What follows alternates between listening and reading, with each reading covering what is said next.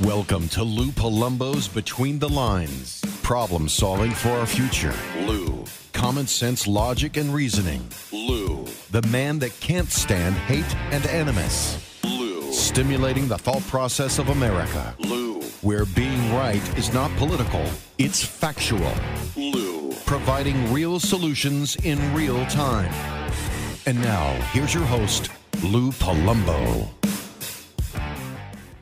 Wish I could tell you something has changed, but um, it hasn't. We're still in the same mode that we have been for quite some time, or at least the past almost two years. A lot of interesting questions, I think, that need to be asked and answered. One of them deals with the border issue. We're trying to figure out who's supposed to benefit from this border policy with this indiscriminate access of people who are fleeing countries, some of them legitimately oppressed, which is why we need a, a migration process for a number of reasons. In fact, if you recall, a number of months ago, we had a gentleman by the name of Richard Herman, an immigration attorney, helps immigrants assimilate or facilitates the process by which they can come to the United States and be productive and ultimately become citizens. You know, we need a workforce. We're going to have um, Robert Boyce back on uh, in a few minutes. He's uh, formerly and recently retired chief of detectives of the New York City Police Department.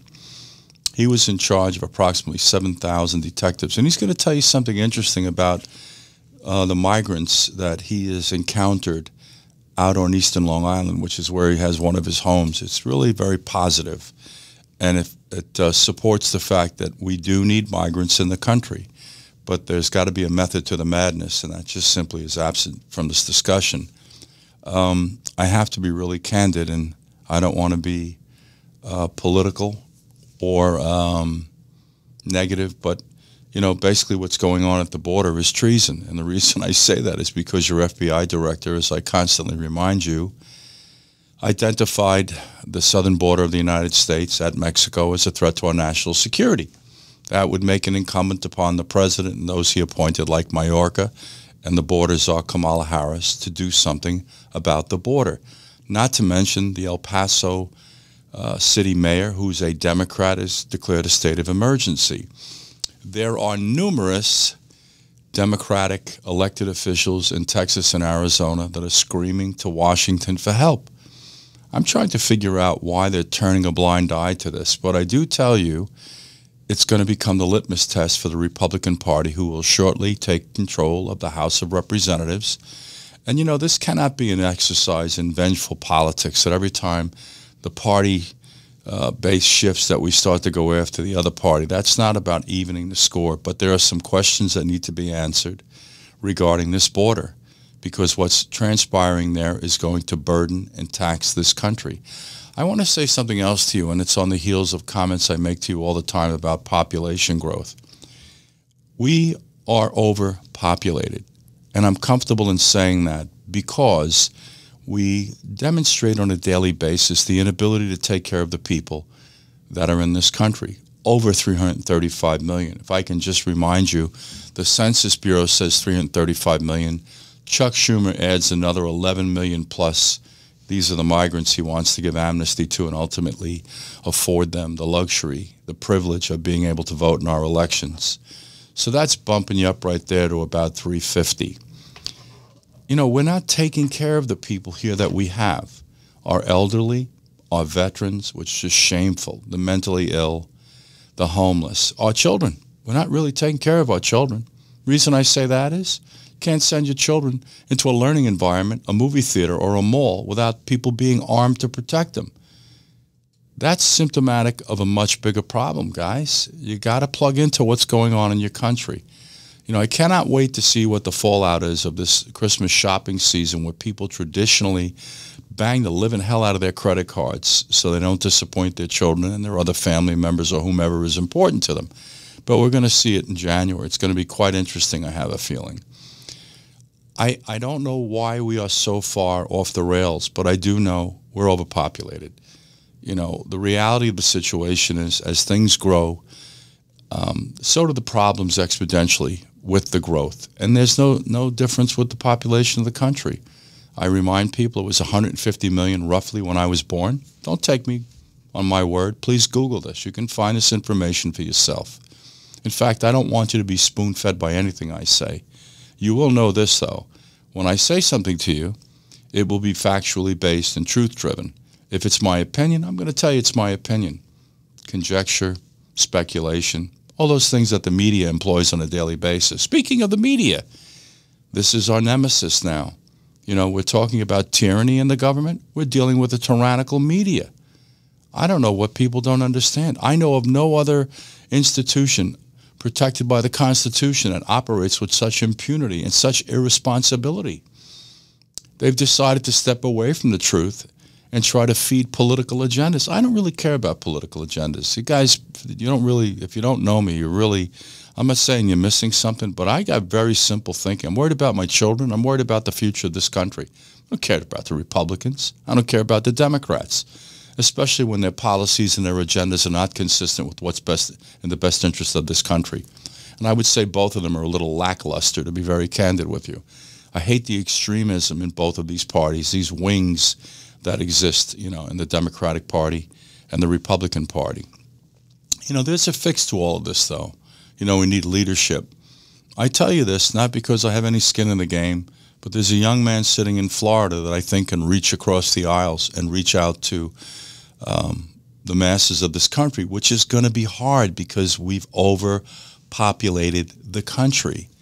You know, I wish people would go back and just take the time and listen to some of the speeches that were given by John Kennedy when he spoke to this country, and the whole country felt included. There's always going to be people on the fringe. The world felt included. But again, he was the president, population was 180 million, almost doubled since his presidency. This is getting interesting out here, folks you know, I understand now that the uh, federal government is constructing these rather elaborate tents on the border in El Paso to accommodate migrants. How about you accommodate the homeless people that are just peripherate, I'm not even going to say that word, that are just all over the place in Los Angeles and the mentally ill? They're doing nothing to help them. There isn't even lip service for that matter. The last time I heard them mentioned was when they passed this bipartisan gun control bill of some form where we're going to have enhanced background checks, which is just nonsense, just rhetoric. And we're allocating funding towards the mentally ill, and we're allocating funding towards, you know, school safety. Last week, we're going to have these gentlemen back on. I had Jeff Mueller and uh, Steve Sullivan, who, who are going to speak to you a bit more in depth about this school safety issue. This is deplorable. Not that we haven't so much you know, put law enforcement agents in every school across the country, but that we're having this conversation that we need to. When is the public going to pull their heads out of their heinies here? Stop worrying about your laptop, generation of iPhone, whether or not you can afford an electric car on your vacation. Pay attention to your country because you're losing your country. I strongly suggest that if we do not have a dramatic course correction next five years, we're going to lose the country. Country's going to fragment. We're going to see states like Texas that are somewhat economically viable. I shouldn't say somewhat, they are. Florida, Nevada, Tennessee, quite a number of these states are going to basically break off from the federal government and say, look, we're not going to play ball with you guys anymore. Go do what you want to do with the other 45 states or 40 states or however many states remain under the auspices of this craziness that we're living. But they're going to step away. You know, you got to look at Texas. They're just chomping at the bit. There's nothing good in this relationship between Texas and the federal government. And the one real stumbling block is this border issue.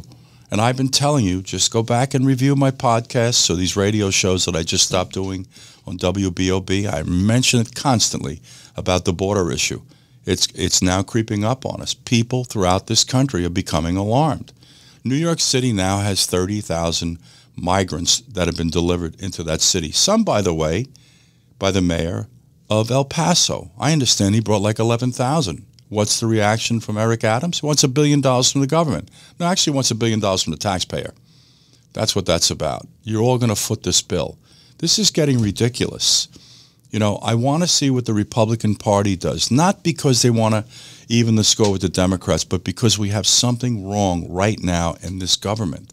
And I'm not saying that because I'm a Republican. I'm saying that because I'm an American. It's a whole different discussion for me.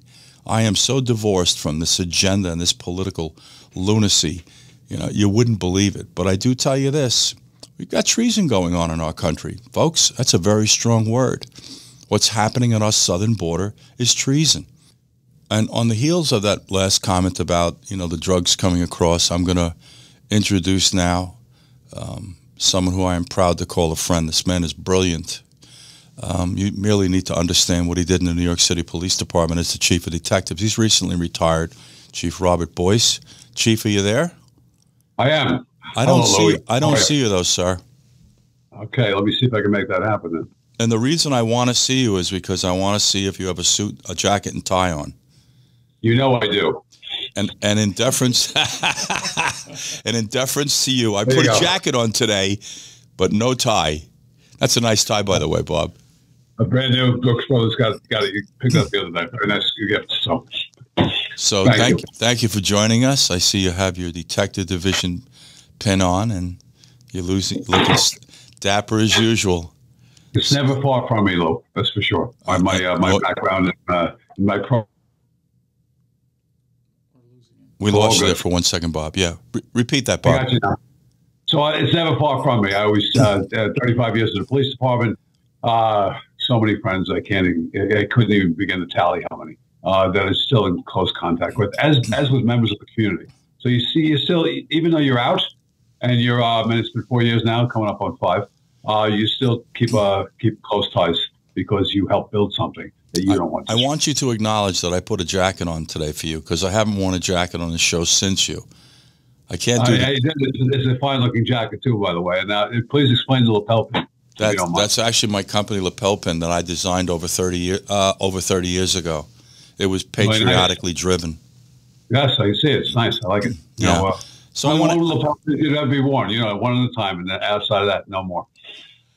I want to catch up with you. Tell us a little bit about what you're most recently uh, been involved in with developing, because the last time we spoke, you know, you had New York Homicide, which was a great show, and I encourage people to watch it. You know, it's actual cases in the New York City Police Department with the detectives that actually were involved solving them, not actors. So bring us up to speed, Bob.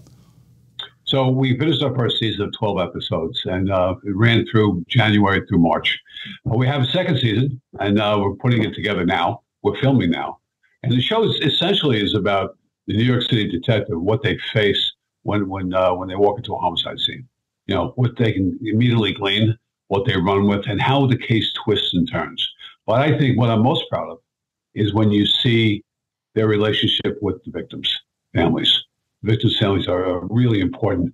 these these are folks who will never get that back, never get become whole again, and so we try to help them through that as best we can, keeping them plugged in, and also listening to them because sometimes they can give you advice about what's going on in that person's life that's important to understand.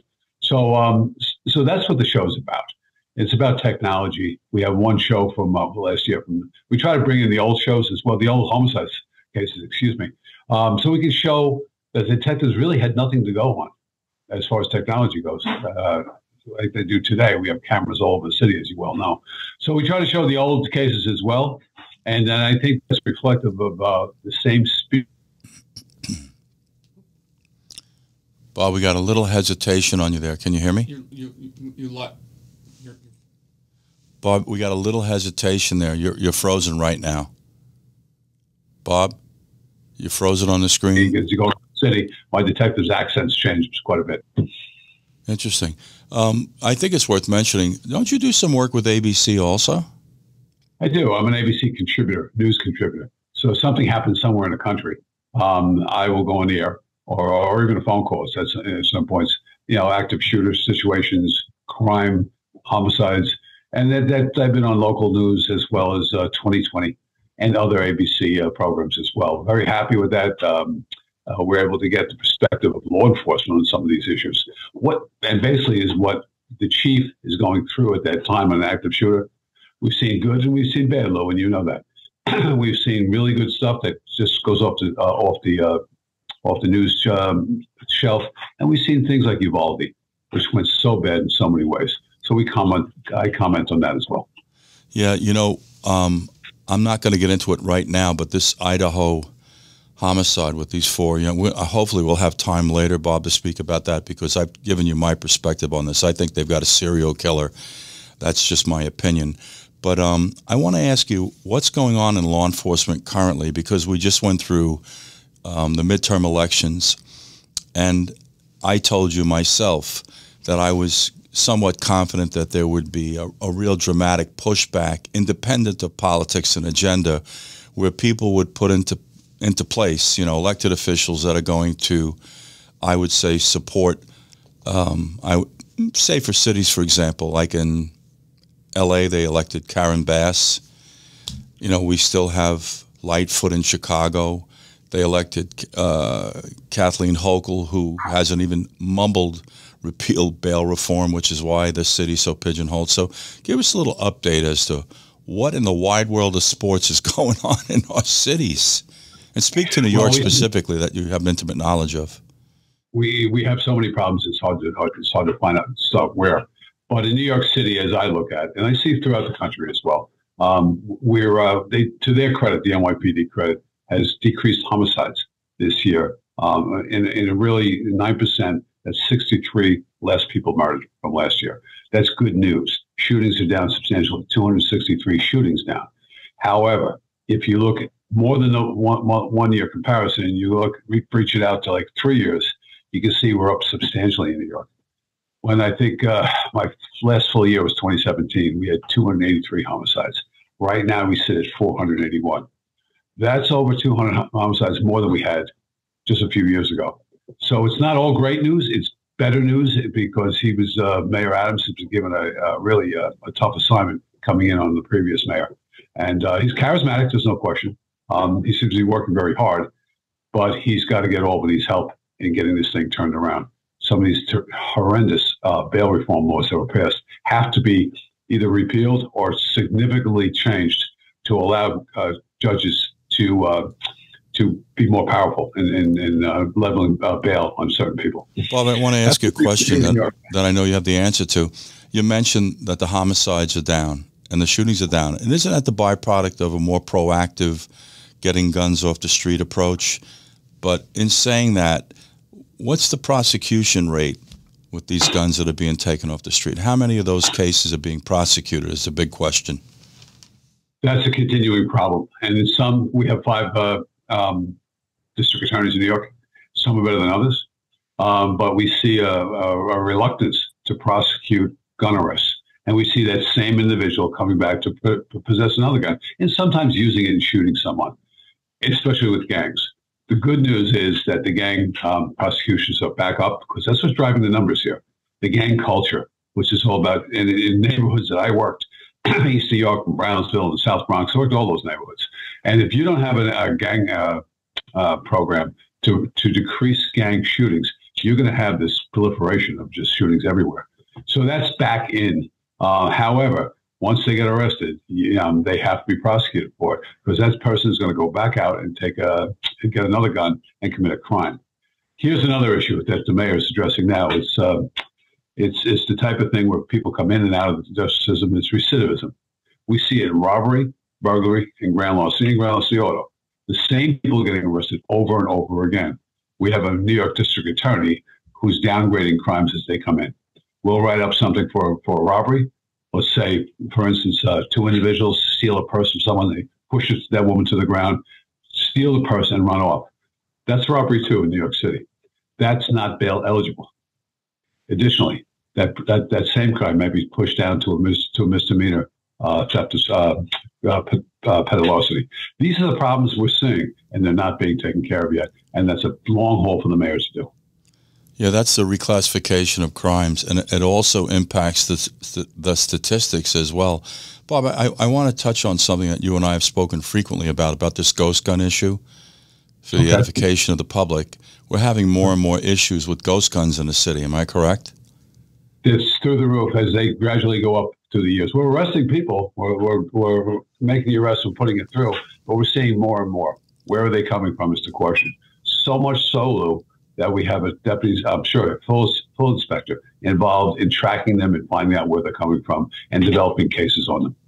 So, yes, it's a big problem in New York City. Yeah, as I mentioned to you in one of our discussions, you know, um, acquiring that frame that is um, I would say, absent of the parts to make it functional, is just a piece of plastic. You know, it's a it's a replication of um, uh, just a Glock frame. It's a piece of plastic, and it doesn't become a firearm until you insert the locking block, the trigger bar, um, all these other little pieces, um, the transfer bar. There's a lot of pieces that go in, not that many, but enough, and that's when the gun, the frame, actually becomes a firearm.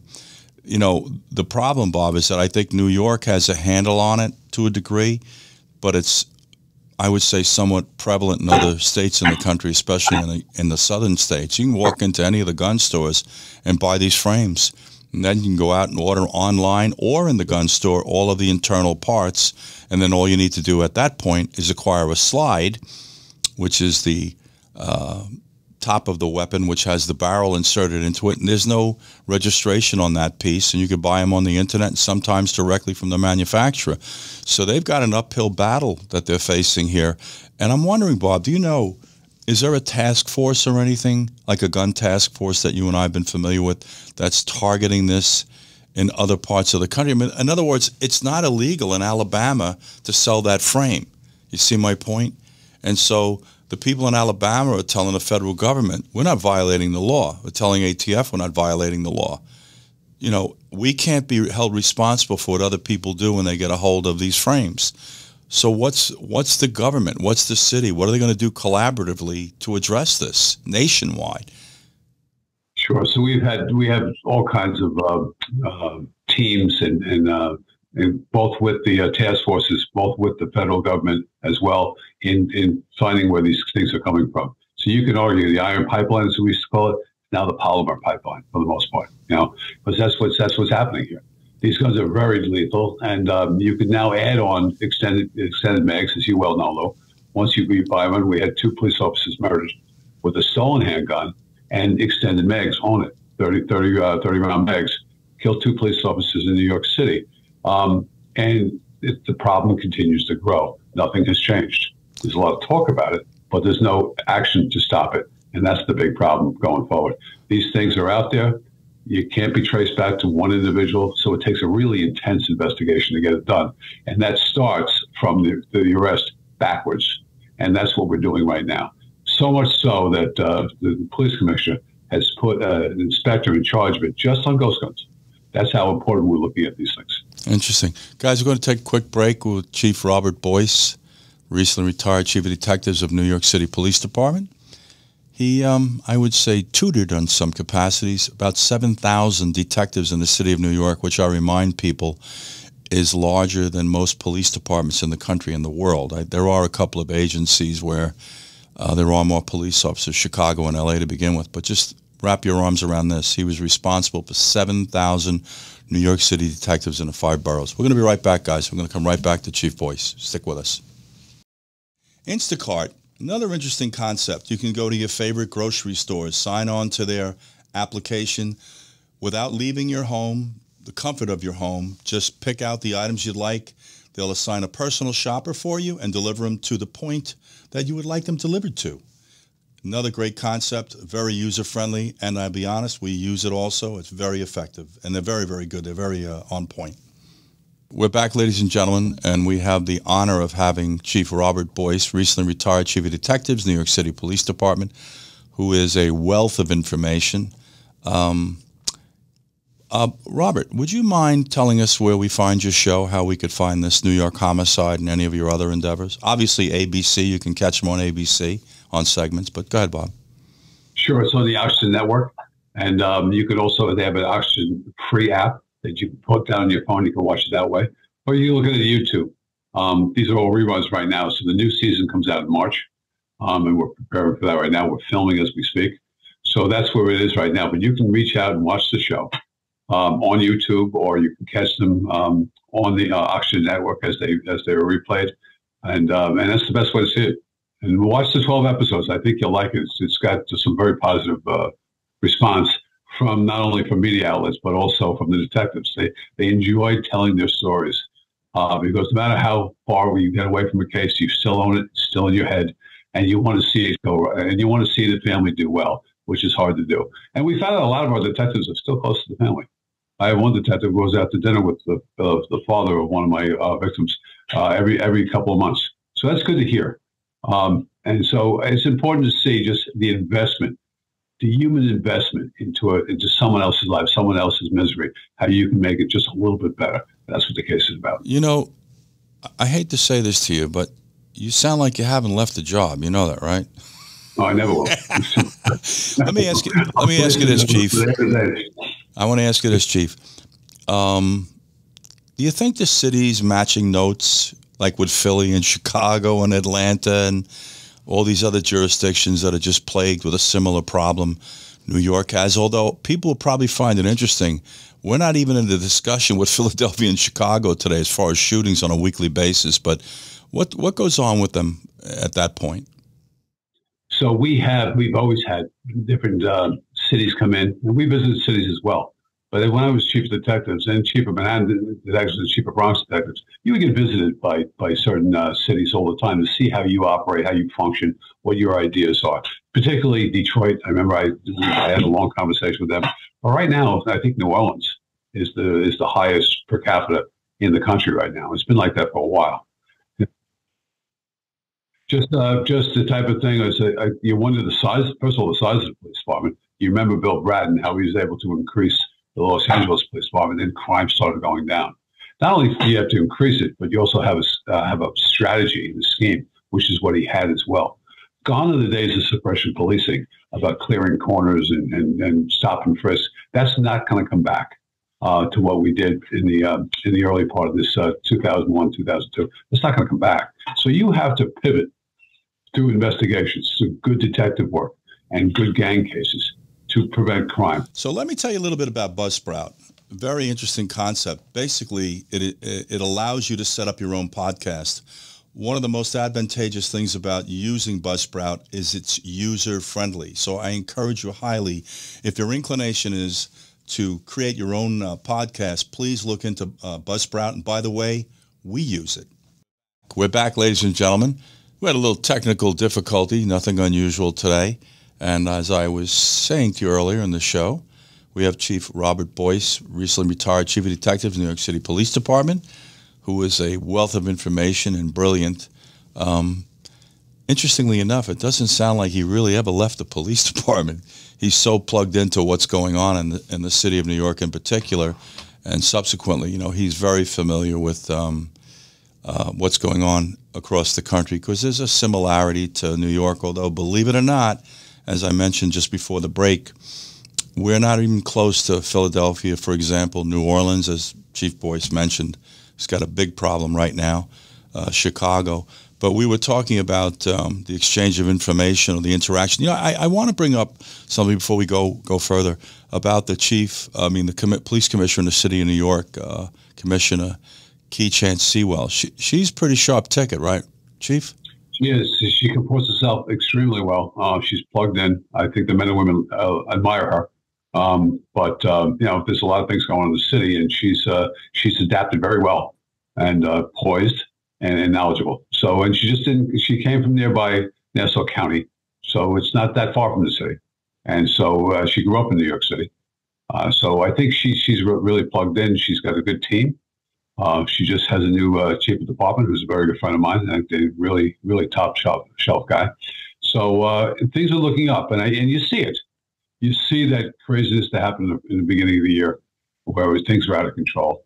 Um, the subways remain a problem and still are, but um, the, the, the violence numbers they've come down substantially. Uh, but the robberies, burglaries, grand larcenies, those recidivist crimes we talked about, they still pester, they still continue as well as the subways. You know, Chief, I got to say one thing. You know, uh, as you are aware, I was in the city working. I was in Washington and New York uh, working about a week ago, and um, I came in from Long Island. I came in from Nassau County through the Midtown Tunnel. Most people aren't familiar with that, so this is really our conversation. Sorry, folks. And I hit 34th Street, Madison Avenue. I headed north. The number of vacant storefronts is just alarming. And then after discovering that, I couldn't help but notice Lexington and Third Avenues. I mean, the number of vacant stores in a city, which has a direct correlation to your tax base, are overwhelming. You know, I have, of course, real estate brokers that I've uh, dealt with in New York City over the years, and they're telling me that the uh, commercial real estate, real estate space has a 40% vacancy. You know, these are like concurrent battles going on there. They've got to continue to keep this economy thriving, which in the city, which I think is being hindered by the crime. You know, I think people are afraid to come into work. And the other thing I noticed there, and I think you'll agree, the traffic coming into this city is just off the charts. I mean, it's unprecedented, the volume of vehicles in Manhattan. And I think we both know that Penn Station is no delight to arrive in today. You know, so it's it's interesting that a lot of these policies, um, I would say that are being driven right now by the state, not even so much by the city, are uh, really impeding the city's recovery. Uh, I, I, want you to comment further on, on my observations. And, and, and the other thing, boss, is what's the road back? I mean, we do know bail reform to start with, but let's go into a little bit more about how we get the city back in kilter. So let's talk about our contrarian city, which you're 100% right. The commercial uh, real estate base is way down. But you look at the, uh, the dwelling, the, the residential, it is through the roof. So people still want to live here. People will still want to buy, uh, you know, live in New York City and have it, the New York City, the urban experience that it is. Um, and apartment rents are going through the roof. So it's, it's really in contrary of what's going on here. Uh, people are not going to work like they used to. So, um, and what is happening with traffic? Well, we have all these bicycle lanes everywhere, where which have taken away major uh, streets, and they're down to one lane. If you go up Madison or Lexington, you're basically on one lane with, when you have a double traffic, the double parked car. So it's problematic to move around, move around the city. There's no question. Um, however, the crime, the crime issue is subsiding somewhat. I think we're going to get something done. Right now, we're in a one-party state in, in New York. Uh, in New York, uh, so you have a Democratic stronghold for the most part in New York City, and now in the state. Um, so when they pass these really um, inexplicable uh, set of laws, the bail reform and others, um, you want you want them appealed, but then someone has to say they made a mistake, and that's not going to happen. So it's it's really up to the mayor and the governor to get together and get some reform going and get this thing turned around. Because otherwise, you're still going to have these burglars coming out of the uh, coming out of the system. These people doing robberies, grand larcenies, these schemes, these scams that they're doing left and right. We we arrest them, but they're right back out again. And you see really bad cases where an individual um, is is committing, you know, five, ten, crimes. We arrest him on the pattern. He gets right back out again. He's doing the same exact thing he was doing. So there's so many problems in New York City. We have a problem at Rikers, um, uh, Rikers Island that has to be taken care of. All these things have just come before. In the, once this mayor, the old mayor is out and the new mayor is in, so he's got a tough job of turning things around. Being in the same political party, he's not going to second uh, guess anyone or, or say, "Well, we this is what we have to change." And he's a strong language guy, as you know. So we have a lot of things going on. Similar cities, similar issues. Uh, gangs in Chicago, the, the you know the um, the crime levels in Philadelphia just with with uh, with DAs who won't do their job. It's as simple as that. Lou, they took an oath like the police officer does, uphold its uh, constitution of the state. They're not doing that. They have to be held accountable. I I, I agree 100% with you. You know, the, the, thing that's important to remind everyone, and of course you and I have skin in the game in New York because we're, we're just, we grew up there literally, is, um, and I'm not shy about saying this, um, de Blasio destroyed the greatest city in the history of civilization. But he had some help from the governor, Cuomo. De Blasio did not pass the bail reform law. The governor did. The same way the governor in Illinois just passed no cash bail. You know, so you know, they, there's an expression: the fish thinks from the head down. You know, the the road back in in the city of New York starts with the governor, not necessarily the mayor or the police commissioner at this point. And I do believe, to be fair to the mayor, didn't he go up to Albany and try to address this bail reform issue, Bob? Wasn't that something that took place early in his administration?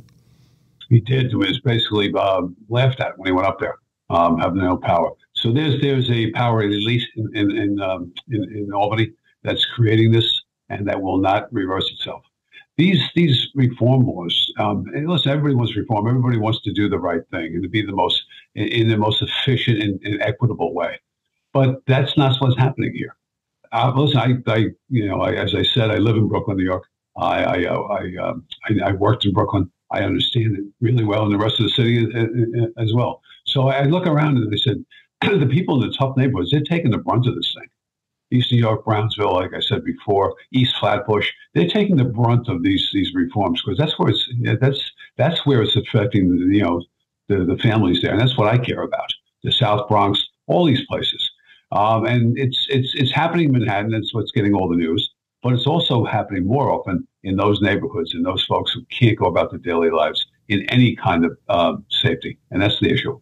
You know, Bob, I, I really think that um, what's going on in our major cities, and this is a simple statement to make, is an example of political failure for obvious reasons. But what I don't understand is why, for example, the Republicans don't go into the minority communities like we're discussing Harlem, Brooklyn North, the Bronx, and, and I would say collaborate with the religious leaders and the community leaders to try to convince them that there's an option for the minority community other than the one that they have. You and I both know this last election, the Republicans swept Nassau and Suffolk County, which I remind everyone their combined populations is larger than 38 states in this country. Supposedly, it's been reported that Suffolk picked up almost like 400,000 residents from the city. But the problem I think we have is that neither one of these uh, political entities are making any attempt to insinuate themselves in a proper manner in these minority communities to convince the people to vote in a direction different than the one they did. I mean, I'm just blown away that we haven't had enough. And I think that was resounding through the country, not just New York. Nothing's changed across this country in a single major city. Correct me if I'm wrong. Nothing at all, and it's it's more distressing than ever because the same people got reelected, and um, in a lot of those cities, the same mayors um, and the same governors. So those things are going to continue to fester.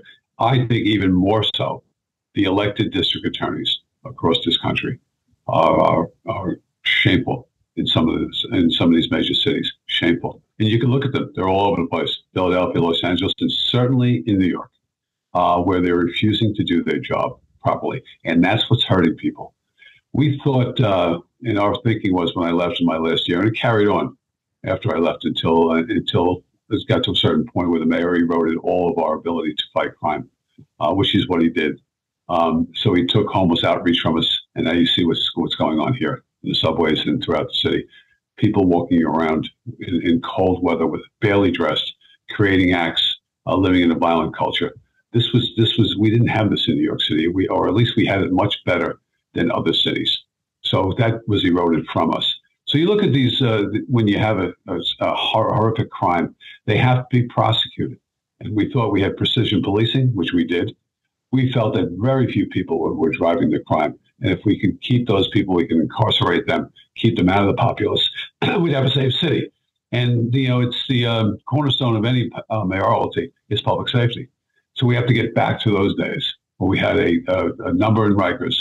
And I think it was, we had around 6,000, 6 to 7,000 people in Rikers. Now, that seems like a lot, but look at New York City 8.6 million people live here. That's a very small number committing this crime. That was at the at the premium, at, at the top of our game in the police department. We need to get back to that. And we have to need so do so intelligently. I want to discuss something with you also that recently reared its head in the city of New York, which I found rather entertaining. Uh, the mayor is attempting to reinstitute a practice that the police had for as long as I can remember, and I'm sure as long as you can, where they had the discretion to take people who were emotionally ill off the street and bring them for 72 hours to a facility like um, Bellevue, right? And and De Blasio took that prerogative away from the police, and now uh, the current mayor Adams is trying to reinstitute it. Correct me where I'm wrong here. Yeah. And they're getting push major pushback, Bob. This is something that we've been doing for decades, for generations. Now we're trying to reinstitute it, and we're getting all this pushback. Am I correct? He seems that way. They're pushing back hard, and I, I think he'll be able to drive it through. So involuntary removal of an emotionally disturbed person has to have has to be in the priority of the police department. You can't let these individuals walk around living like they do. It's inhumane. You're not doing anybody any favors, especially not uh, someone who's in the throes of mental illness by letting them stay out in the cold, uh, sleeping on grates and things like that. We had the ability to take someone who's acting out uh, to a psychiatric ward for review. Now, that's the problem with the only thing I see with the mayor's plan. You can reinstitute the police department doing it. We had something called homeless outreach, which primarily worked in the subways and in the transit areas where these homeless were. And they would take people in all the time. He took that away from the police department and gave it to the Department of Homeless. When you say he, be specific who he was, Bob. Right. This is we're talking about William De Blasio, Bill De Blasio. Thank you. He took that away and, and put it to the Department of Homeless. Now, those individuals are not equipped, skilled, or trained to be able to do that because these folks can be uh, oftentimes violent. So they're not going to do it with the same ability that the police department can. Uh, I, no one has any problem with them following us around and anything. All the police officers now are wearing the um, the body worn camera, so you can see their actions and they're be able to articulate why they're doing something. That's not an issue. So all these things should be put back into place. I think this mayor is doing it. He just hasn't put back homeless outreach to the police department yet. I think they're going to be the primary driver of doing it. So I think it's happening, yes. But here's the problem, Lou, is that you have to get health and hospitals plugged into this too. They just can't release these people back into the street after a, after a couple hours of review. They have to have something else. They have to have homeless um, uh, shelters plugged into this. Someone has to be in charge of that, and that's what needs to be done. It's just not a police issue. It's it's a lot of other support uh, um, uh, agencies as well that have to be part of. Bob, you froze. You froze, Bob. I'm back. Okay, guys, we're going to take a quick break. We're having a conversation with uh, recently retired chief of detectives of the New York City Police Department, Chief Robert Boyce. We'll be right back, guys. We're back, ladies and gentlemen, and as I said earlier in the show, we have Chief Robert Boyce, recently retired Chief of Detectives of the New York City Police Department. The significance of this conversation today, um, although it sounds like we're just really talking about our home, our backyard, New York, it's indicative of what's going on across the country. The problems that we're having almost every major city is having. And that's really the unfortunate part of this discussion. We were just talking about the mentally ill and, and outreach programs and who was the architect of taking the city in the wrong direction, which is the most recent uh, mayor de Blasio, which I just don't understand how he got out of Dodge so scot free. But um, the one thing I just do want to say is, you know, after we take them off the street and we determine they're not um, I would say, mentally acute. They're not stable. Oftentimes, you can't return them to their families. They're disenfranchised from their families because they're not only threats to themselves, they can be threat to other family members. So they're back out on the street. You know, to go back historically, Geraldo Rivera did an expose on Willowbrook. Chief Boyce probably remembers this. We dismantled that mental institution, then Pilgrim State and Creedmoor. And what we're really talking about today is a systemic failure on the part not just of the states or the cities, but the federal government to try to create an environment for people who are not mentally well to exist other than the, the, the, the, the gratings in the city of New York, hallways, or Penn Station. And this is really, it's incredible that no one's talking about this. And guys, it isn't just the Democrat, it's the Republican as well. You know, we just gloss over these things, making like if maybe we ignore them, they'll just go away. It's not happening. You know, we're not doing anything to help the homeless. I opened up today, Chief, by saying that we've overpopulated the country. And I support that because we're not taking care of anyone. Our veterans, our homeless, our mentally ill, our elderly, and our children. We're still not taking care of our kids in the learning environment. And this is a ridiculous conversation to have that we've got to put armed people in schools so they can learn. This, this problem starts at the top, period, guys. Now, I do, I do want to say one thing. You know, I don't want to be political. I'm not picking uh, sides, but I, at some point in time, it would be wonderful if they had a conversation in Washington about what they're going to do about the homeless in this country and the mentally ill, because we just can't allow them to operate in the streets with impunity, committing crimes, many of which they're not responsible for because they're not of the right mind. This is a hell of a problem, and I know that you dealt with it, you know, professionally. But I have to say, you were riding the, the, the, crest of a different wave with a different administration. You were there with former Commissioner Bratton, who's probably the most preeminent police official in my lifetime, at least, or maybe modern time. The man is again brilliant. It's almost confusing that he came from our culture. He's so damn smart, and he understands the culture on so many levels. But you know, I know you were teamed up with him also. You had that that Um, he did he make you chief of detectives? Certainly did. He certainly did. In 2014, he made me chief of detectives. Tell us about that story. Well, uh, I was at the time I was chief of Manhattan detectives, and uh, that's not a bad job either. Great job, um, also, so, ladies and gentlemen. it is. So, uh, so, and um, he came in, and um, and there was a there's people he brought in, John John Miller, Steve Davis, people you know, uh, who he was developing his team, and he was looking out looking for the management team within the police department, and we're putting that together then. So I got the call to come down and meet him at uh, Neary's restaurant. I think you've been there as well, Lou, uh, on the Upper East Side, and then, then he offered me the job there and I immediately said yes. So, um, and it's, and I was always astounded by his, his, you know, how his acuity, how smart he was about a lot of issues, the broader topics. And he, what he said to me that day is, I don't want to talk about daily crime. You're going to handle that. And I did. And, and so, uh, and so that's how it helped me get here today. Um, I was able to go on the air and, and assure people that arrests were being made and that this wouldn't happen again or, or, or this was the end of it. Because if you remember during my tenure there, we had three um, three terrorist incidents. Now, that's under the purview of John Miller, but the Detective Bureau has assets, and we have assets to help uh, the FBI with that crime as well. So we were able to do that and bring down the, the numbers to historic lows. And it, a lot of that was uh, partnering with our federal partners, uh, the FBI, the DEA, you know, all these things to to to tackle this tough problem. And I will tell you, when I left, I thought the city couldn't have been in better shape than it was. And I worked to my last day, as you well know. I didn't want to leave. Um, even under uh, Mayor de Blasio, I didn't want to leave. Uh, we were doing that well. And then in, in, a year and a half later, it all went poof. And I see uh, this degeneration. If you remember the Floyd riots, what it did to New York City, we had lost Fifth Avenue. There's things you don't lose in New York City. You don't do that. Entire Soho was was was was sacked by by vandals and uh, and uh, burglary teams. So that's how bad it got. Uh, I, I don't know if I would have stayed through that, not being able to do my job. And that's that was the issue with me. Would I still be able to do the same job I did in 2018, in 2022, or 2023 now is we're, we're turning that corner. And and we have a great chief of detectives, by the way. Jim Essig is a top shelf guy. He's an old school man like me, um, and he understands the city as well as anybody. Came on the job with me.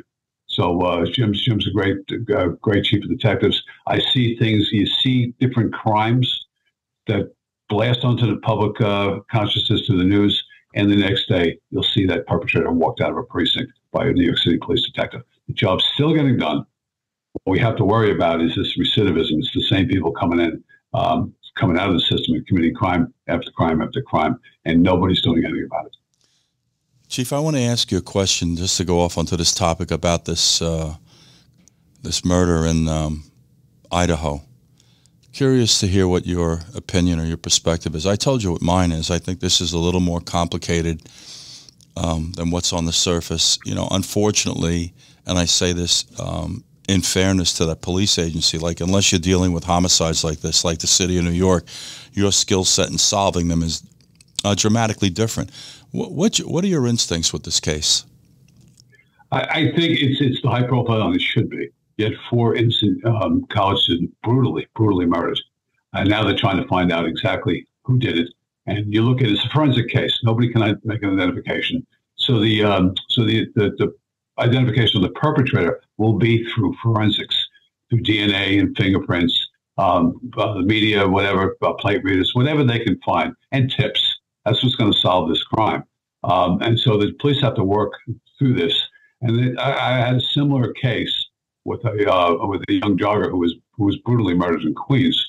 It took me six months, uh, actually to the day, to identify the perpetrator. So these things take time. Forensics have to come in, uh, and you have to go from there. Your tips are important. You have to follow each one down. I think that's what's being ha- what's happening right now out there. They were inclusive from the beginning, Lou. The, uh, the, the um, where that happened, they brought the state police and they brought the FBI in, which is what they should have done. They're being quiet about their leads, which they should do.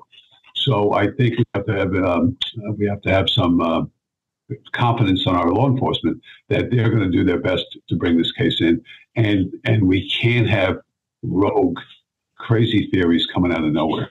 Um, they have to be tamped down to a good press office. That's probably the only mistake they're making is in the press office and how they're releasing information that I can see. And it's not controversial. You can you can uh, clarify issues all the time to the press. So that's what I'm saying right now. It's a brutal murder. I agree with you that this savagery right here is going to occur again until we get this person in. And he may have already done this elsewhere. We just don't know. Kind, kind of uh, like uh, other uh, serial killers. You know, you know the reason, uh, Chief, I, I have this serial killer theory is because of how labor intensive th- these four mur- murders were. He didn't commit a murder on the first floor. He went to the second floor and the third floor. He didn't have one person he targeted. He targeted four. You know, there was some labor uh, involved in this thing, especially since he used a knife. You know, it's not easy unless you really are astute as to how to use a knife on a body to kill somebody. I mean, I just think that this is such a uh, a deviation from a target, a conventionally targeted homicide of this nature. In other words, he didn't go in after one girl or the guy. He went after four people. You know, and that's what really bothers me about this case. And you know, Ted Bundy, who I was alluding to a moment ago, he you know he traversed the country, you know, uh, ending up down in Florida State University, I believe, and and the dorms there. I just think that they've got something on their hands uh, greater than we are, are are willing to maybe wrap our arms around at this point. Uh, I do want to say this as far as the forensics and the DNA you know, clearly relevant. We're solving a lot of cases today, but you have to have a database to match that against. And I'm certain our FBI, who has probably some of the finest crime laboratories in the world, have already been that route, and they're not tying this to anyone. They keep making reference to some white sedan. I don't know if that's necessarily going to take them to the promised land. Clearly, it's worth worth um, following. You know, I, I this is really an interesting case here and, and extremely tragic because it's impacting the academic environment in which these children are learning. Once again, you know, our kids are on the receiving end of the crazy in this country. You know, Chief, I'm going to wrap this today with you. I want to thank you for coming on. It's always a pleasure listening to you.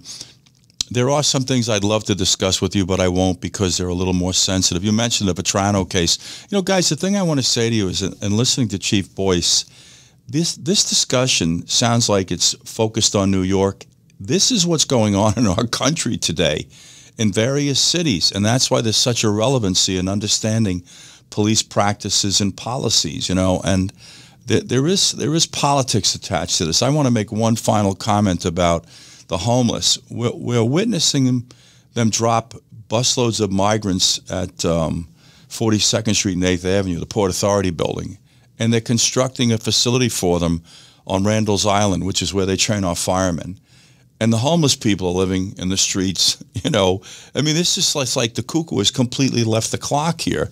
And what was so interesting is that we watched the media interview some of the homeless people, and they're all going, "Why aren't they doing this for us?" You know, there's a lot of questions that need to be answered here, and I would say that the leadership in the country today, to say it politely, is a little slippery.